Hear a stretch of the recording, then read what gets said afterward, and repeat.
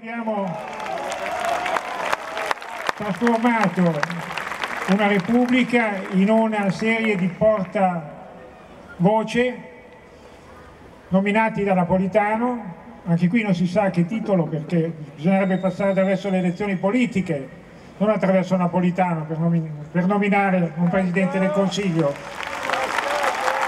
Ne ha nominati tre, uno dietro l'altro, ma chi li ha nominati veramente? Lui o Draghi?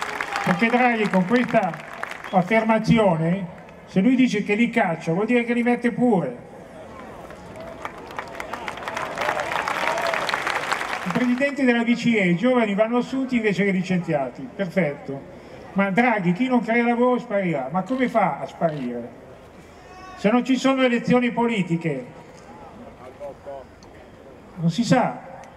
Qui siamo arrivati ormai a delle persone che non sono neppure più dei portavoce, io parlo degli ultimi tre non eletti ma nominati da Napolitano, e quindi parlo di Monti, di Letta, e di, e di Renzi, i quali non sono neanche più portavoce della BCE, ma sono portaordini della BCE, eseguono e basta.